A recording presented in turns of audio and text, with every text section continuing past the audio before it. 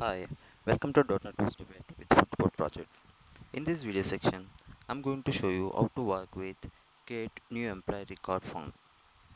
Admin create the employee details in Food Court project. Before go through this form, I want to show you how, I design the uh, database with store procedure. Here, I declare a five columns here, employee ID. I make it as a primary uh, why big I mention as primary key because I don't want to insert any duplicate employee IDs and I don't want to uh, null value. The only reason I mentioned as a primary key. And I create a store procedure here to insert this data into this table. For that, I declare five parameters: employee ID, name, password, address, phone number, and I passing that parameters in values. Here, table is empty. I don't have any data in the employee table. open the employer record form here. In this employer uh, form you can see employee id is auto generated id in my previous video section i already shown you how to create auto generated ids how this auto generated id is generating? For clear information you have to watch this video. Just click on this previous video how to generate auto id i strongly recommend to watch that video before continue this this video. Okay. Uh, when i enter the details in this video section uh, enter as because and password I given as because and uh, I giving address as Delhi password uh, so contact number given as here. You see that two things will happen here one is uh, sorry three things will happen here. When I this click this create button the whole data will be stored into database. That's one thing. And the uh, data stored successfully. The uh, top of this uh, controls this the message will be displayed. Employee id this employee will be displayed. Account created successfully message will be displayed. And this created button will be disappear disable. It won't show again.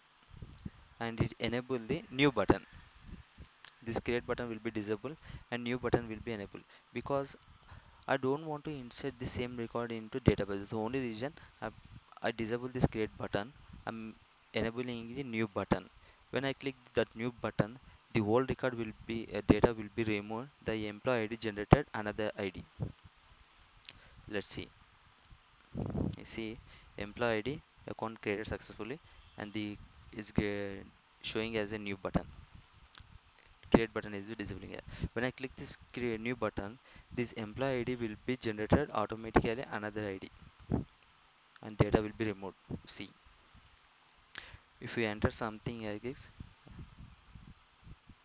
if i create click create button the whole data will be stored in database. Again the same thing happen if you don't want to store this uh, name password address contact number just click on the cancel button to remove all this data here and the employee id will be still displaying same. Uh, just look at the code how I written for this here. Create button. When I click on create button the data will be stored into database. For that I'm creating object here business object. In the business object I created some properties employee properties here. Objects employee id employee name employee address phone number i'm creating object i'm calling the properties name here. I'm assigning the values to that em properties. And i'm passing that object to this uh, insert employee record methods. I'm passing that as a parameters and i'm creating business logic object here. When this data inserted uh, here here again is passing through create employee id account is calling another method and here passing this uh, property as a object is a business object. Whatever data in passed here the data will be available in this object now. Again here creating database logic and calling that method. When this method calls database the store procedure will call. The whatever the store procedure I written here store procedure inside employee. The same store procedure mentioned here I'm assigning that all that uh, values employee here. I'm assigning to that. I'm matching all that values to these parameters to this because this parameter is inserting here. Employee ID contain employee ID employee name password address phone number. So I have passed I have to match all that as it is to insert the data. That's the only reason i'm creating properties here. When it executes successfully return the return type of that in database the execute non query method is one that will be bring here. When it's uh, the return type that in me method is integer it gives some value. So if the i is greater than 0 then it executes this method. Here you see the employee id the message will execute and it's display a employee id inserted successfully. The same thing happened here